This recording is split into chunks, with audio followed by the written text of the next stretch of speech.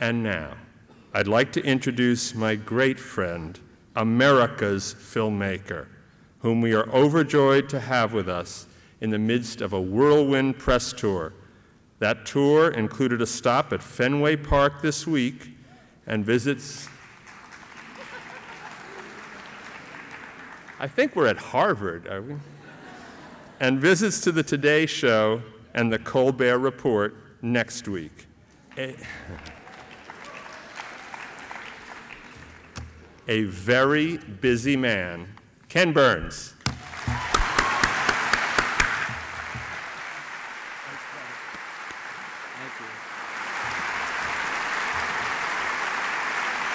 Thank you.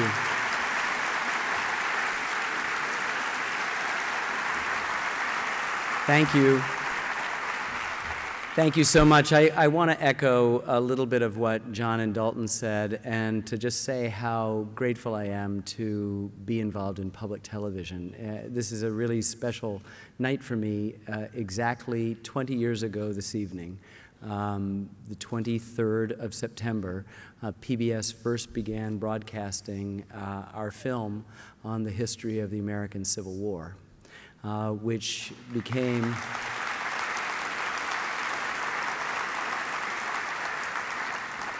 A kind of verification of the style that we had cultivated in a few films of moving through photographs and using not just third person narrators but first person voices and more importantly trying to excavate not the dry dates and facts and events of the past but a kind of emotional archaeology that would remind us uh, how valuable the past is as a teacher that it is in fact our greatest teacher. And so it's thrilling to still be working in public television. It's thrilling to still be working with WETA, uh, as I have for 28 years, uh, and thrilling to be here with you to share uh, another film. Uh, now, John told most of what we're here for, and you already knew coming in, so I don't want to spend too much time other than to uh, reiterate that uh, we had no intention of following up the Civil War or baseball with any kind of addition or sequel, that, that we were urged so often to kind of turn these into cottage industries, and we thought that there were other fish we had to fry. But I love this game, and I've loved it all of my life. Um, the first game I went to was in the summer of 1959 when I was six years old, and it was to Memorial Stadium in Baltimore to see the Orioles play. That was my, my first team, and I later moved to the Midwest and became a Tigers fan, but I've lived. This is great. Anybody here from San Francisco? um, and then I, I, have spent the last nearly 40 years in New England, and it was really hard to arrive in New England about the time that Carlton Fisk and Fred Lynn and Jim Rice did and not become a uh, Red Sox fan, uh, which I have been for a long time. However, I must tell you that I have been working with Lynn Novick for 21 years, and she is a diehard Yankee fan. And. Um,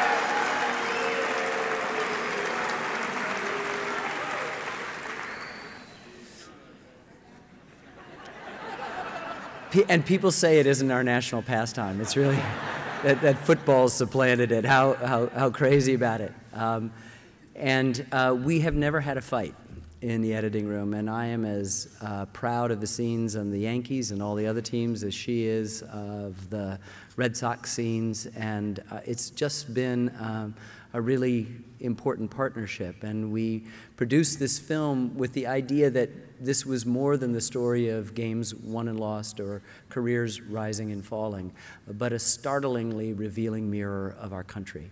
Uh, baseball has accompanied nearly every era of our national existence, and so it seems to have uh, writ in its action uh, a way to understand the country that we've been that goes way beyond the political military narrative that usually passes for American history. In fact, we saw the baseball series as the sequel to our Civil War series.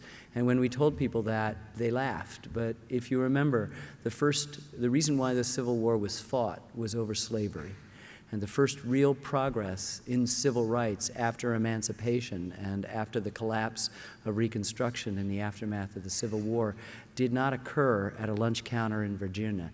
It did not occur in the barracks of our military. It did not occur at a bus in Montgomery, Alabama. It did not happen through the actions of the Reverend Dr. Martin Luther King Jr. It happened on the diamonds of our so called national pastime when Jack Roosevelt Robinson, a grandson of a slave, made his way to first base at Ebbets Field and changed not only the game of baseball, but American social history forever. And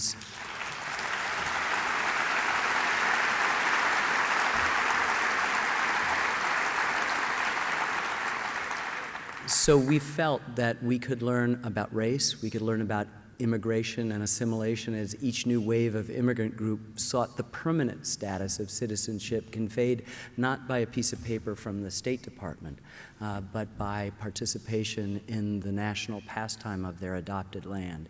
And it continues to this day. This is about the tensions between labor and management that was there at the very beginning of this game and exist to this day. Uh, this is the story of so many aspects of our uh, national life, the growth and decay and now rebirth of great American cities, often anchored by a brand new, old style ballpark built uh, to revitalize the fortunes not only of the teams but of the inner cities they are now increasingly being built in. Uh, this is a wonderful story, uh, baseball, and it is the greatest game that's ever been invented without a, a, a doubt. And, um, you know, we, get, we have lots of fights in bars, as you can imagine, about it. But uh, it's, it's, it's a beautiful, beautiful thing. And we had figured that we wouldn't come back to it. But as John said, when we came out, there was a players' strike in the middle of our broadcast, and we were the only baseball in town. And then as we watched the events of the last uh, 16 years unfold, um, we realized that these are among the most consequential, not only in our national game, but in our uh, country as a, as a whole, and felt compelled to come back and revisit it. Now, we were planning to show some clips tonight, and um, you have to understand that filmmakers absolutely hate to show clips. It takes a great deal of explaining when you could just watch the thing. And so you have been elected to participate in a really unique study. Uh, what we're going to do is lock the doors and show first the original 18 and a half hour series. and then um, and then we are going to show the new four hours. And um, if we don't eat uh, and we don't take bathroom breaks, we should be done by about six o'clock tomorrow night. And, um, but I think you'll get a sense of what I was talking about, of the, all the themes of immigration and race and that sort of thing. Uh, and uh, I really look forward to it. Get comfortable, you know, uh, untie your shoes. Um, no, we're just going to show a handful of clips. And uh, it's to introduce those clips and talk a little bit more seriously about our national pastime, uh, perhaps, uh, is the co author of this uh, update, the co director, co producer, and co writer of the film, uh, and my dear friend and co worker and Yankee fan, um, Lynn Novick.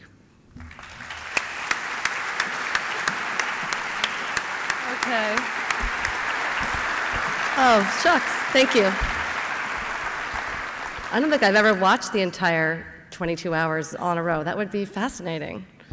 We'll see if we repeated ourselves. Um, I, I, don't want to speak too much about the clips because we sort of like them to stand on their own. Uh, what I just wanted to say briefly was that I'm thinking back to the fact that 20 years ago, I had really just been working with Ken for about a year, and while the Civil War was getting ready to broadcast, we were already starting work on baseball. And I believe that fall, soon after the broadcast, I went to Kansas City to find Negro League players to talk to and had the incredible privilege of knocking on the door of this one house in Kansas City and having Buck O'Neill open it. And uh, I just, I will never forget meeting him for the first time, being welcomed into his home, and having him sit down and tell us all the things he was so willing to share about baseball and life and what really matters. And it truly was a life altering experience for me, for which I will be eternally grateful to baseball and to Ken and to Florentine Films and PBS for giving me the opportunity to get to know Buck. And he came to be a great friend of ours, an inspiration to us, not just in making that film, but really in our lives. And we actually have dedicated this film to him, and we're very sad that he uh, is not alive to have helped us figure out what to make of the last 20 years of baseball history. Um, what we are going to show tonight is just a short assortment. The first thing you're going to see is the introduction, so that hopefully will not need me to explain anything about it. And then we're going to jump ahead in the first episode to a scene that follows a rather extensive discussion of the 1994 strike that both Ken and John talked about. And I think it is important for us to just, in, in seeing this clip that you're going to see, to kind of uh, be reminded of how angry so many people were at baseball with this strike. It went on for months. Both the owners and the players seemed to the public to be unresponsive to the needs of the public at all and didn't seem to care about the fans. And it seemed to be about greed and sort of lack of accountability to the people who actually buy the tickets. And there was such resentment. People were vowing not to go to games, attendance was down. People were literally coming, if they did buy a ticket, to yell at the players, to throw money at their feet, to hold up signs saying that they felt betrayed by baseball. So it was really, truly one of the low points uh, in the history of the game, I would say, since the Black Sox scandal of 1919. So that, that sets up the, the second clip you're going to see. Then the third clip is a scene from later on in the episode that deals with one of the central themes that we were interested in exploring uh, in the 10th inning, and that is the role of globalization in baseball. The, last, uh, the second to last clip is from the second show, and it follows uh, another theme that we will have been following, which is the question of performance enhancing drugs in the game. And we have sort of been tracing it rather subtly in the first episode, talking about how players have always looked for an edge and that there's been an element of cheating, sometimes at spitballs or corked bats, and how it had evolved into players actually taking medications uh, illegally to enhance their performance but it was something that really wasn't out in the open. And then in the 1998 home run chase, uh, you had a situation where these great sluggers were throwing the ball, hitting the ball out of the park, and it was this wonderful spectacle that the country reveled in. And at the very end of that, a bottle of Andro, which was an over-the-counter steroid, was uh, seen in, in Mark McGwire's locker. And that was sort of really the first hint publicly that this wasn't just a question of weight training and small ballparks, but there was something else going on with this uh, offensive surge that so many fans had been loving. And then uh, the final clip we're going to show just is about the deep love that so many people have for the game and what it means in their lives. So we really look forward to talking with you after the clips. Uh, enjoy the show. Thank you.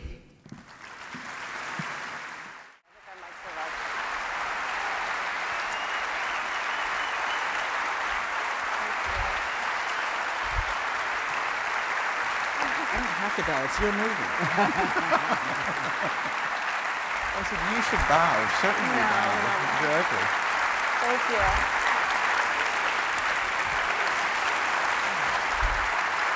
Thank you. Thank you. Thank you.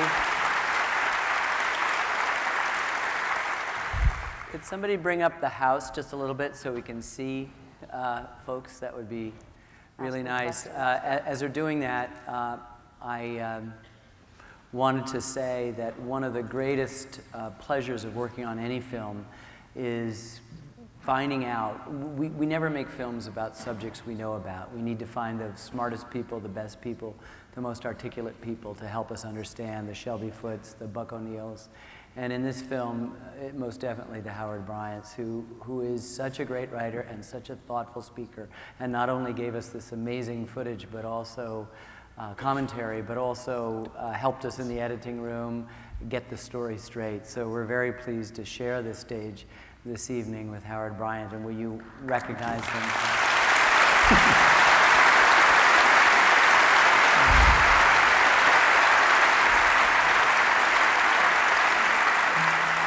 I, I, just wanted to let you guys know, those of you who were excited by the last scene, um, that you'll notice that one of the the chalk on the blackboard, even for Yankee fans, is John Sterling. the announcer. And when he says, it's the greatest comeback in baseball history, you hear at different screenings, not yet.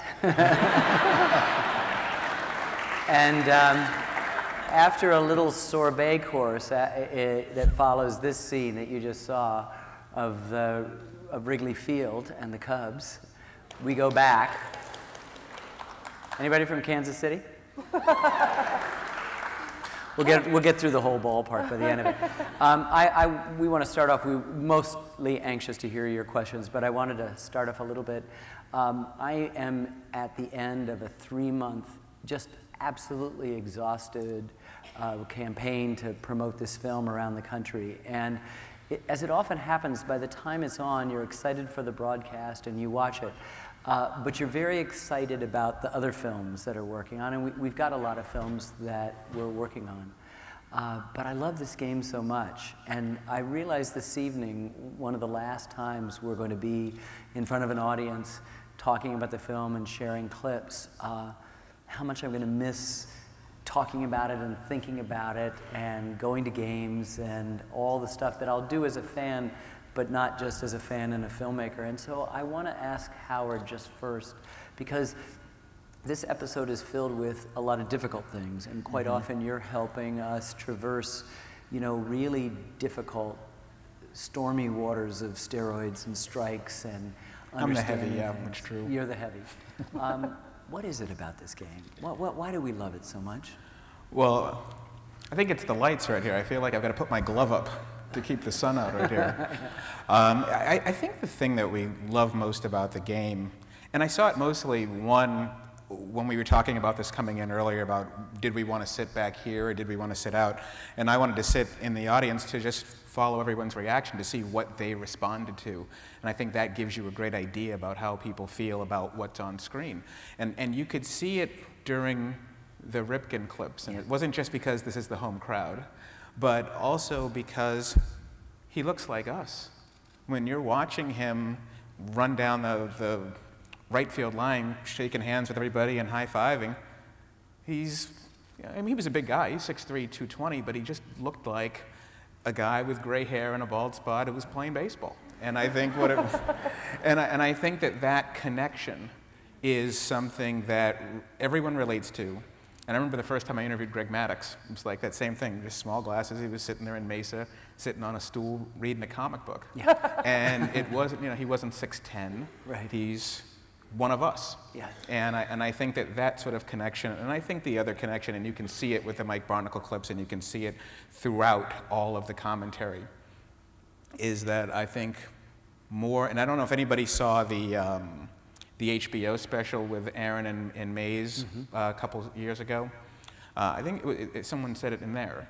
This is a father son game. This is a mother daughter, father son. It's a family game that, that most other sports you can come to on your own. This sport you don't come to on your own because if you come to it on your own, you'll say, it's really boring. but if, you, if you're taught the game, you learn the game and then you learn about yourself and you learn about your family, and all of that means nothing when you're 10, but it means a lot when you're 40.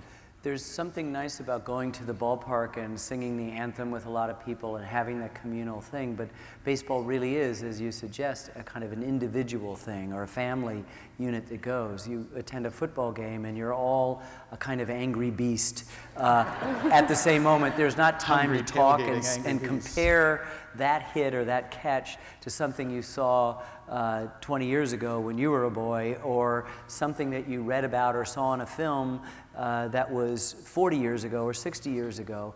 Uh, th- there's none of that possibility in football, and not because there aren't breaks, but because you're all in uh, a mood that either something good is happening or something bad is happening. But baseball has a whole range of things, and I, I think that the character of a baseball audience feels a little different. I think what's really funny about that is when I lived here, I was covering the Redskins for the Washington Post, and I had never uh, covered football as a beat writer before. And I had been in baseball the whole time, and, and generally speaking, I, I do I have to say I hate football? But you know, let's let's put it this way. Uh, baseball is a great sport to watch. It's a great sport to follow. It's a fantastic sport to write about. Outside of boxing, it's probably the best sport to write about. I think it's even better than boxing to write about.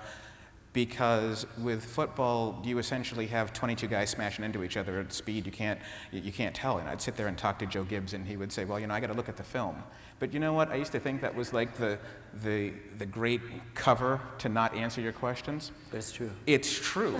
You can't watch a football game in real speed and tell who blew a play on a, a cover three Whose responsibility was it? And then football players try to treat it like it's, and the coaches try to treat football like it's the CIA. Well, I really can't kind of get into that and tell you who's, who blew what coverage there. Anybody Baseball- here from the CIA? Oh, sorry, we're in DC. Exactly. Well, I, I don't have a car here. You can't follow it. I, I wanted to jump in with something. You know, on the one hand, the fans love the game from afar, and we live in a fairly cynical age. And as a reporter covering the game, coming to it as a fan, how did that change your relationship to the game in terms of covering it and, and seeing what goes on behind the scenes, but yet obviously still loving the game, and especially in the last 15 years when so many interesting things have been happening? Well, I think the best thing that happened to me was that I didn't go from fan to journalist. I covered technology first. I was out in the San Jose Mercury News and the Oakland Tribune, and I was a technology writer. My job was to cover telecommunications and networking and phone companies and all of that stuff. If you have a thing for area codes, come see me. I'll tell you all about it. but when I got to I got to cover the A's in 98. I'd already, I'd already been in the business for seven or eight years and having, having covered Larry Ellison and Bill Gates and Eric Benamou and John Chambers and all of these incredibly smart people during this technological wave, I wasn't as intimidated when you walked into a big league clubhouse. And had I gone from having posters of Jim Rice on my wall to walking into the clubhouse, I think it would have been a much different experience. I think it would have been, it would have been very, very difficult. And, I, and you can tell there's that tug between being a fan and then having to do your job. Because once you get into the room, you realize they don't want you there and they don't want to be your friend. And if you don't learn to get your guard up, they're going to run right all over you. So maybe before we open it up, let's, uh, and you can, there are uh, Microphones. microphones at the, uh, in the middle of the Yeah. house. And uh, please, if you can form orderly lines, or don't be shy, Don't please be don't shy, be shy. Um, Somebody has a question. Somebody's Anybody not here shy. from LA? San Diego? Big Minnesota. Um, How about Minnesota? A word for Minnesota. Right. We deal in our film in, in, in many, many chapters uh, about the steroid scandal. Uh, can you just, in the simplest way, sort of for those of us who are still struggling with how to deal with it, um, where are we with it? How, how, do you, how do you, at the end of the day, as you actually say in our film, but, but how do you, where do you put it right now? Well, in terms of implica- in terms of the effect of the game, I think it's the greatest uh, scandal in the history of sport, of, of this sport. And I think it's greater than the Black Sox scandal for two very obvious reasons. I think the biggest one is that this scandal touched everybody for every player, every team, every pennant race, every record, not just the home run records, but all of the records. I remember in 2005, right after the hearings, the Red Sox were in a pennant race, and they came in here, and the Orioles just demolished them right before the All Star break. And the big guy who really destroyed them was Rafael Palmeiro. I think he hit like two home runs and he had a fantastic series that weekend. And during that week, he had already failed his test. He had already failed the test. It was in the middle of appeal, but he was going to be suspended. And it happened about a month later. They got swept. The Red Sox got swept in that series, and they ended up losing the division mm. to the Yankees by a game. In fact, they might have been tied that year, but because the Red Sox had lost the season series, the, the Red Sox were the wild card and the Yankees won the division. And the Red Sox were incensed because they were thinking, well, wait a minute. That weekend without Palmeiro, maybe we win some of those games and maybe we win the division. And that is exactly kind of what, that's the effect of, of, I- of this I- thing on the whole, on, on the game. my feeling is, is I'd, I'd rank it third after the exclusion of African Americans for eight decades and the denying of the so-called national pastime, this incredible talent that once African Americans were let in with you know, a quota system in the National League. They win the MVP in the National League nine out of 11 years. That's one of my favorite baseball statistics. And I would rank uh, the, the gambling. We think of the gambling as just as the White Sox uh, in 99. Yeah. But it was for, for at least a couple of decades a very prevalent thing. And so many of the, uh, today, Ichiro uh, got his 200th hit mm -hmm. and is now has 10 consecutive 200 hit seasons. Uh, passing Wee Willie Keeler uh, for the number of, con of consecutive seasons. And we're not absolutely sure that all of those games are legit no. either. So some of the great treasured names from the early days, the pre-Babe Ruth stuff of Napoleon Lajoie, yeah. of, of well, Honus Hal Wagner. Chase, and everybody knows that. I mean, during that, during that period, I don't think anybody who follows that period would look at it and say, well, that was a clean period, and then the next few years aren't. I'm, I'm not making that suggestion. Yeah. What I'm suggesting is, is that the amount of knowledge that people had at each level was, what was going as on. negligent as anything you could think of. This was not a secret. I guess it, it, maybe it comes down to kind of a semantics, but a question of what affected the public's perception of the game, which with the Black Sox scandal seemed to be really drastic that they couldn't believe the game on the field, mm -hmm. and not mm-hmm. just that one World Series, but that it called everything into question.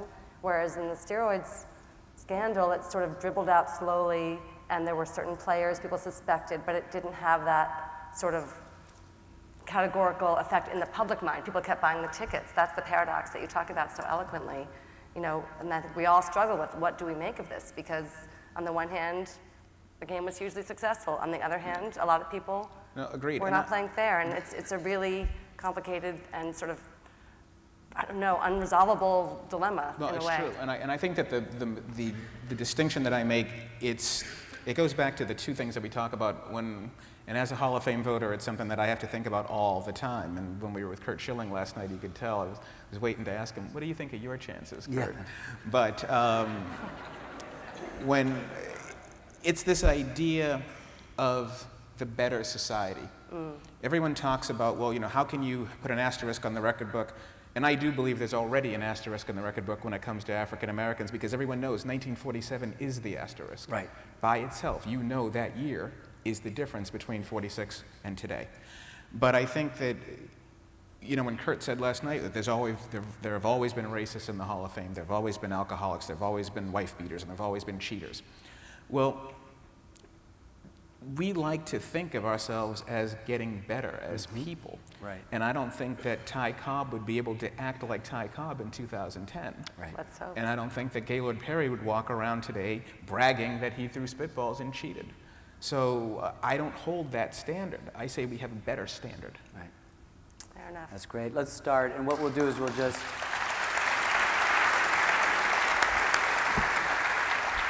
No, no speeches, um, questions.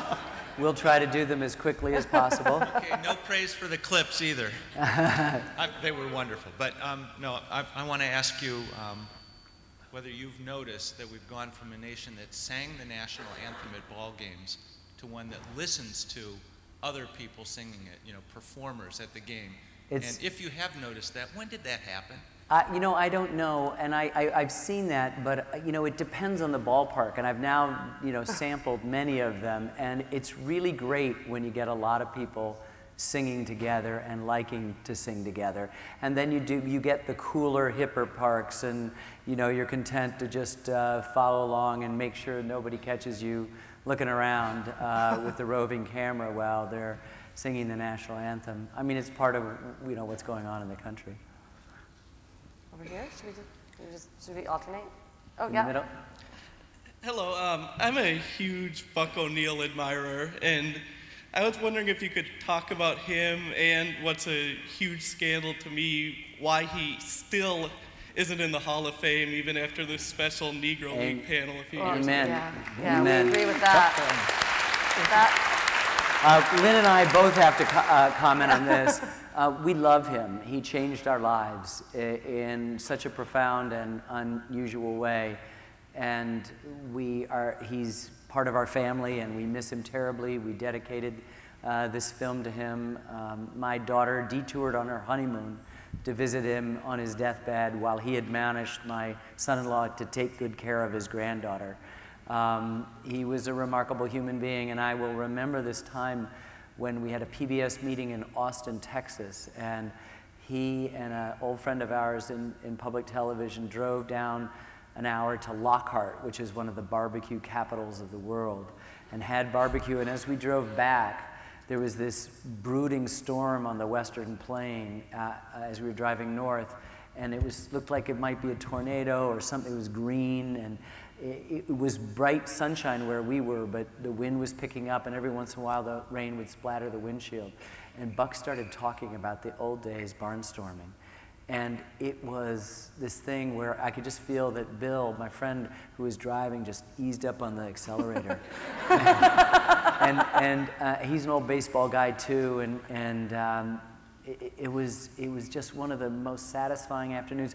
Buck told about how a day he'd hit for the cycle, and he'd collected a home run and a, and a double and a single, and then he hit this inside the park home run and pulled up at, at third base, kind of like this. so he could collect his, his cycle thing. Um, and he told us great stories all the time. Uh, you know, I'll let Lynn finish this Um, off. I, if I go too much long, I'll be We could spend the whole evening, which we would love to do. Um, why he's not in the Hall of Fame was, I think, the question, and it's really kind of a travesty. Um, more than so many of the people who were in there, who you know may have made the stats, but are not the example of the better people that we could be. He towers over most of the people in there, as far as I'm concerned. It had to do with sort of politics of the committee that was um, charged with going back and revisiting the, uh, the last time they were going to revisit the Negro Leaguers who hadn't been yet let in. It was the last time they were going to do it, they said. And he was on that committee. And, you know, it was just a horrible slight to him and to the history that he represented that he wasn't admitted. And there were all kinds of excuses given, but none of them made any sense. And it was just really a devastating thing. The Hall of Fame itself does not decide that. It was this committee, and anyway, and we don't want to bore you with that, but I think they have set up a Buck O'Neil Award, which actually will be perhaps much more meaningful. That will be given only, you know, every few years to someone who really does represent the best in all of us, and you know, the person in baseball who has contributed the most. So I think he'll be remembered, you know, even more because of that award. So there's a silver lining, and Buck, of course, would have always found the silver lining anyway. But what they could have done is the committee could have come out and said, we're jealous of Buck, so he's not in the Hall of Fame. Yeah. Which is really kind of That- what happened. that- That, that Ken Burns it. made him famous, and therefore we need to pay him back some way. Um, you know, my favorite Buck O'Neil story was in 1998. I'm covering the A's for the first time, and we go to Kansas City, and I'm walking into the press lounge, and he comes up to me and he says, "Mr. Clean."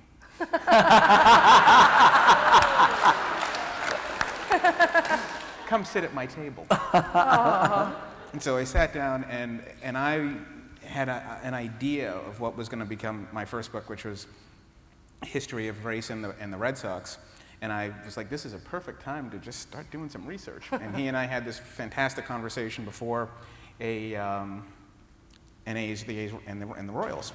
And I'll never forget what he said. I'm going to put it in the book, and I repeat this all the time, where he says, you know, I don't think about the past so much, except for one thing.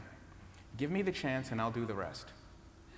And that to me was just everything about what you would want to know about Buck and about how he viewed his time in the future.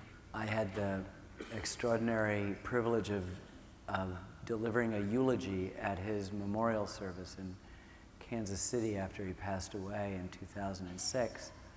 And, you know, our, many of our religious traditions suggest that uh, man is made in God's image. And there's very little about human behavior that suggests that that's actually true. Buck makes you really realize that it is true. I mean, he lived uh, such a generous life that he reminds you that there could be a larger, higher purpose to your presence here than just eating food and occupying space and buying things. and um, he, he was fantastic.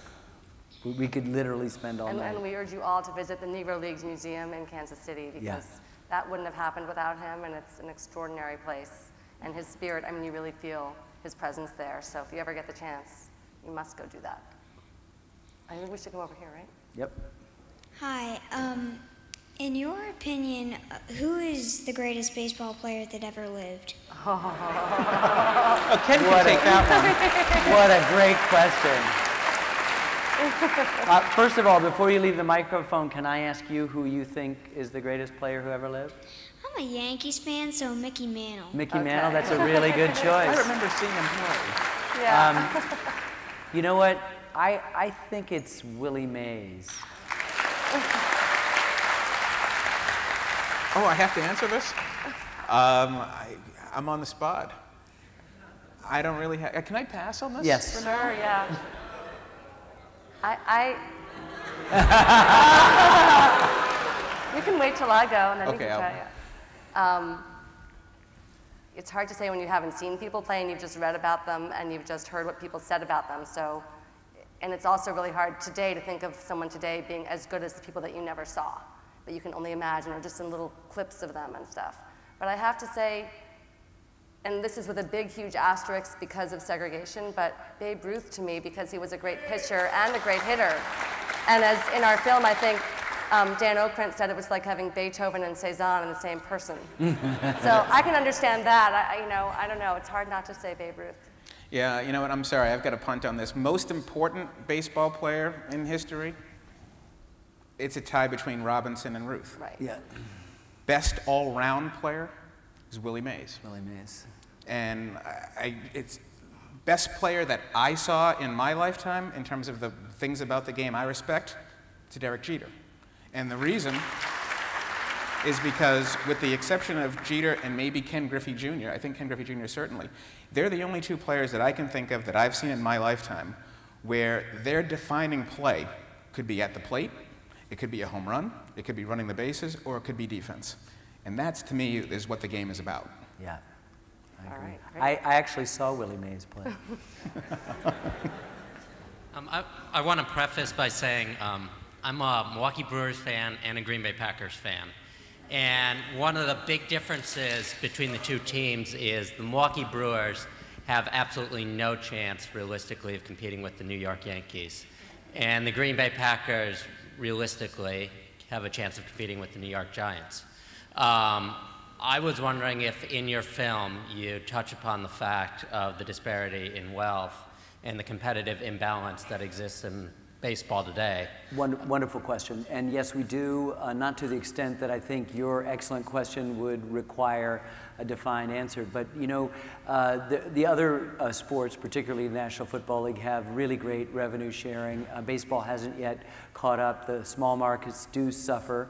Um, but you got to ask the Yankees how scared they are of the Tampa Bay Rays to understand that there's another small market that is right up there. And the Minnesota Twins are the first team to clinch the division um, in, in Major League Baseball, and they're a small market team. So what we know is that while, and, and, and during the the time when Steinbrenner threw the money around, the Yankees for 15 years couldn't do anything. They were ham-handled and muscle-bound, and as Lynn's saying, the New York Mets have nearly as much money as the Yankees and can't get to first base with that money. Right. And so, so, Sorry. so what you have is other factors that enter in, like leadership, the ability to spot talent and to develop and nurture and hold on to that talent, the smartness of trades, your willingness to see a long term and not just, as we've learned about the Pittsburgh. Anybody here from Pittsburgh? Um, That the Pittsburgh Pirates proportionally their man, their ownership takes proportionally more dollars out per capita than any other franchise, and Pittsburgh has been nowhere since 1992. And you know, the other thing is um, baseball, even though each team keeps its own television revenue, there is quite a lot of sharing of um, merchandising and international revenue and the internet. There's actually a lot of money in the game right now. Overall revenue was $6 billion last year. And a lot of that does get divided up. It doesn't all go disproportionately to the richest teams. It's just a question of what they choose to do with it. Well, I think that the Green Bay Packers are the reason why there's a salary cap in football because football decided in 1960 that it was important for the Green Bay Packers to be good. And if the Wellington Mara and if the New Yorks of the world had their way, then football would be in the same position as baseball. But I think that the real problem is that we look at the sport, we look at the sport season by season. And therefore, when you have a season by season viewpoint, sure, the Rays are going to be good, sure, the Twins are going to be good, but if you look at it cumulatively, essentially what's going to happen with the Rays is that it's the same thing that happened with the Oakland A's. You're going to be good for a two to three to five year window. Spasm. Then you're going to be terrible for 10 years until you begin to, develop. develop, Cycle new talent. And, and I Because you've lost your biggest because all your to best players agents. are playing for your team or your team. you know?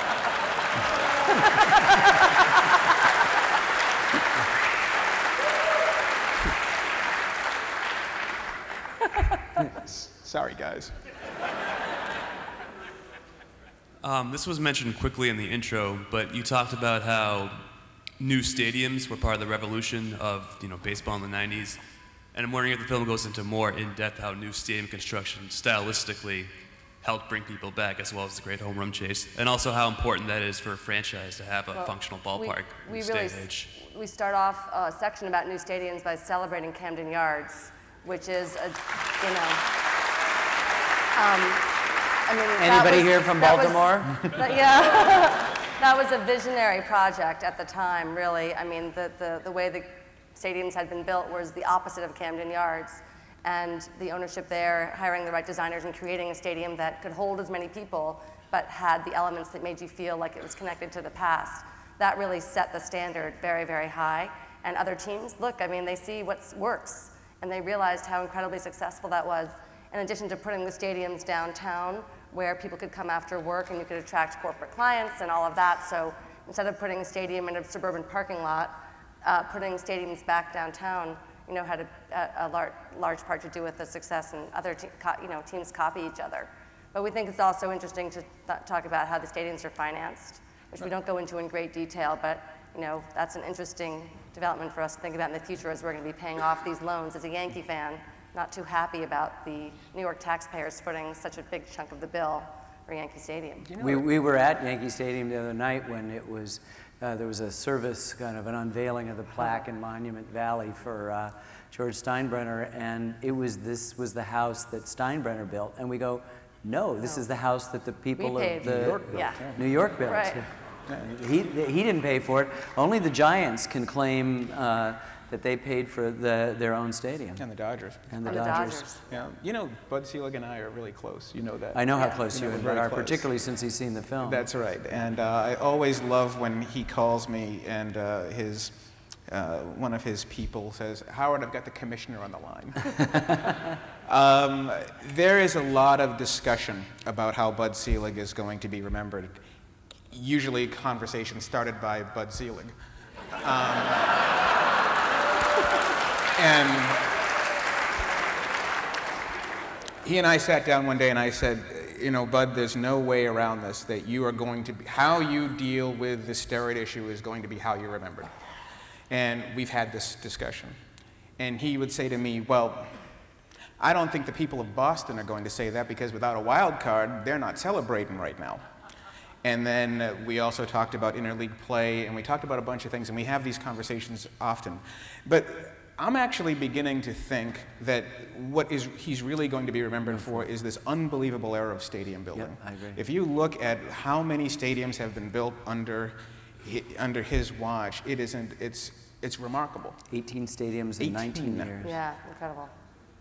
And, and he is, without a doubt, regardless of what blame you attribute to him specifically uh, for steroids, the not doing, the inactivity, uh, his tenure is the most consequential. He is the greatest commissioner insofar that so many things, good and bad, have happened that it is just this remarkable, uh, you know, thing. I can't. I mean, Kennesaw Mountain Landis uh, came in and got, fired the Black Sox and uh, kept the game really, African Americans really out, white. Right, yeah. You know, Well, I, I think one thing that's interesting about Selig, I think you've made this point before, is that he's really been very clear about his job as the CEO of Major League Baseball.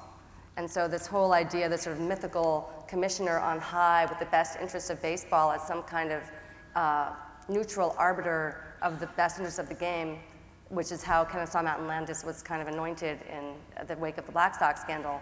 Um, that's really not what Bud Selig's job is. Yeah, but he doesn't deserve credit for that. I mean, the No, no, reason yeah, the reason enough. is because he doesn't have that power because the union can go to court now, and Yeah. they couldn't do it before. Yep. Fair enough. Yep. So uh, I read in the Times uh, in an article that's probably going to be published tomorrow, but it's online now, uh, that they found a copy of the only copy that is known uh, of the quote unquote greatest game ever, where uh, Pittsburgh Pirates beat the Yankees in the World Series. Uh, it was found in the wine cellar of Bing Crosby's house. Yes. Film? You mean film yes, of it? yeah. Oh, wow. It- yeah, And it's, it's a great story. So my so my question for you is, to do. well, in producing these films, uh, uh, whether you have any stories about uh, videos uncovered uh, during the process of your research, and if you could talk a little bit about that. We always have great stories about that. Almost every film, you know, something turns up exactly like that. And I heard that story a few weeks ago that, that there had been the coverage of uh, the, the stuff, and somebody had gotten all this footage, and, and it's in Bing Crosby's. It's just an amazing, and it's perfectly preserved uh, footage eh, of, the, of Bill Mazeroski and the whole Pirates in 1960 beating the Yankees. Um, For this project, this, we this project not really less so that kind of because everything was basically of that's moving besides the stuff we shot, and that's in itself exciting stories. Uh, it came from Major League Baseball uh, because they now control everything that is moving. Everything And, and that is I- moving. they even Everything. control, they control the footage we filmed in their stadiums. It Everything belongs to them. moving. What about So- what about in the earlier uh, film? Oh, so there's so many examples. I think to me the one that really stands out the most is the home movies that Quincy Trouppe took of his time in the Negro Leagues, which really literally were in the in the basement. And um, his son, the poet Quincy Troupe Jr., was um, instrumental in helping us to get uh, access to that and to restore it and to use it. And it really it was not just the game on the field, but life on the road, the buses, all of that. It was incredible. I don't know how we could have told that story without that footage. Uh, Just to bring everyone up to date, it's two to one Yankees in the bottom of the fifth. Hang on, hang on, hang on. I, I have a sense there's other scores Yeah. coming. No, no. That's it? Uh, The, uh, the steroids, the steroids report that came out, I think listed. The Mitchell report. uh, The Mitchell report? Yeah, the Mitchell report, I think uh, stated 100, 105 players anonymously uh, as being steroid users. Uh, Since the report came out. You're actually confusing it. The anonymous was an, No. a, a blind testing. testing that had happened before Yeah. the The te- um, 2003. The Mitchell report came out in 89. 2007 and named names. Well, I guess my point is, they only named a handful of players' names Exactly. had come out so far. And that handful of players have instantly been branded and deemed to be unfit for the Hall of Fame. That means that there's still 95 more players out there who are unidentified. It- the, the What drug- happens with them? Yeah, the, it, it's, it's conflating a little bit. The, the Mitchell report actually named more than 100 players. And the most, you know, r- uh, important revelation was, of course, about Roger Clemens. Uh, but the other unnamed players were when the players were doing anonymous testing. And what you have is a leaker out there who's sort of in dribs and drabs, many leakers, who have found it in their self interest or in their ego gratification to leak the names uh, of people who tested positive in what was a you know, a promise to be a, an anonymous test. So we have to separate between the legitimate investigation done by the Mitchell Commission into the steroid scandal commissioned by Major League Baseball and their findings, which suggested that it was widespread and people were using on every team, and it could not just be those hundred, but in fact hundreds and and perhaps thousands of people over the term of the thing. Do you see you the other that the bigger- names on the list coming out? We, we don't know. We- You It's, know what I it's up to the leakers about- to, It's- to, to- Right, But, You know, what I find interesting about the list is that there is a method to the list, to the madness of the list. of, Is of how the names dribble out. Yeah. Yes, there does seem to be. anybody who has professed their innocence, who was on the list, got leaked. Or at The least all avenging those. angels. The- Well, there's no, no, some- exactly. All those whose names were leaked profess their innocence. Yeah. There may be others, no. Sammy Sosa came out and said, I defy anybody on the list. He was leaked the next day. Right. David Ortiz said, Oh, I've only used rice and beans on the list. He got leaked. Manny Ramirez, No, I never used steroids. He got leaked. And so there's also some sort of crusading going on as well with whoever, you know, whatever forces are doing this. And I think with the Mitchell Report, I think the Mitchell Report as, an, as, an, as a body, as a document, the value in it was simply in saying, listen, we're going to admit that we blew this thing because it's not a complete document. The only people who are named in that document are people that the federal government had already connected with either Brian McNamee or Kirk Radomski. Right. Those two, those two Balco. steroid, or Balco, exactly. And those three uh, individual instances do not encapsulate all the people who could have steroids or had access to it. Yeah, and- I'm sorry, I was just going to say, so it- even if those 100 names were leaked, it doesn't give you any sense of the scale.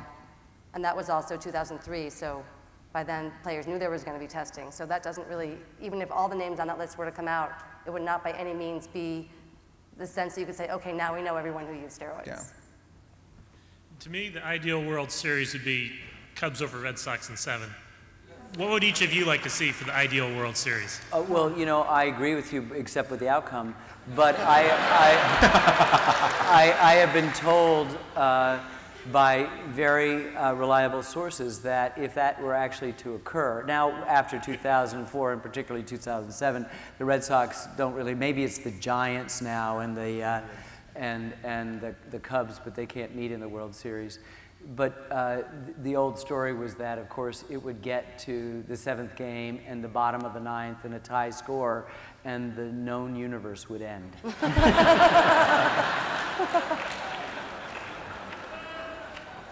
what, what's your favorite Oh, World I don't have- Series? yeah. I think Oh. it's this one that's coming up. Yeah, right. Exactly. Whatever one is the is the next one. I, you know, I think that there's uh, obviously to have the Cubs in the World Series would be very very interesting. I really don't care about the Cubs because I think the Cubs have completely undermined every bit of credibility they have with their fan base. This is a money game, and they're in Chicago.